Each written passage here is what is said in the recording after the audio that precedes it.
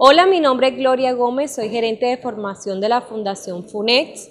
En el día de ayer y de hoy hemos desarrollado unas capacitaciones en temas de contratación pública, contabilidad y todos los procesos que llevan las instituciones, tanto distritales como departamentales, en el cual venimos resaltando la importancia del SECOP y todas las plataformas que ellos desarrollan para cada uno de sus procesos. La del 27 de febrero fue una convocatoria abierta en donde participaron profesionales, representantes de hoteles y representantes de entidades de los cuales querían aprender toda la parte de contratación pública, SECOP y todo lo que era eh, la tecnología de la herramienta. En el día de hoy contamos con todos los rectores de las instituciones educativas públicas, contamos con contadores y abogados que también trabajan con las instituciones que querían fortalecer sus conocimientos en cuanto a SECOP y toda la parte administrativa. Eh, todos los temas fueron muy importantes, eh, pero tengo que resaltar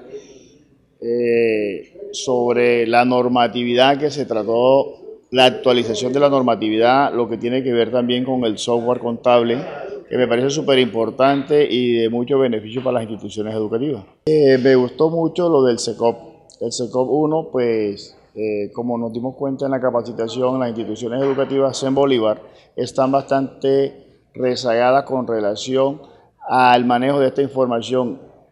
y por intermedio de ustedes también pido que los funcionarios encargados de la administración de la educación en Bolívar le brinden más atención, le presten más eh, asesoría a los rectores para que eh, la información sea más efectiva y más eficaz. Mi misión en esto es formar a todos los rectores, pagadores, contadores, quienes asisten y apoyan financieramente a los establecimientos educativos para ofrecerle más y mejores instrumentos de la administración de recursos. Todos los días se aprende y en la gestión escolar uno de los ámbitos más desprotegidos en el tema de formación es el administrativo financiero entonces mi invitación es a que asistan a estos espacios porque realmente se llevan elementos no solamente conceptuales y teóricos, sino también talleres y prácticos para favorecer todas las funciones y actividades que cumplen en materia de administración de recursos.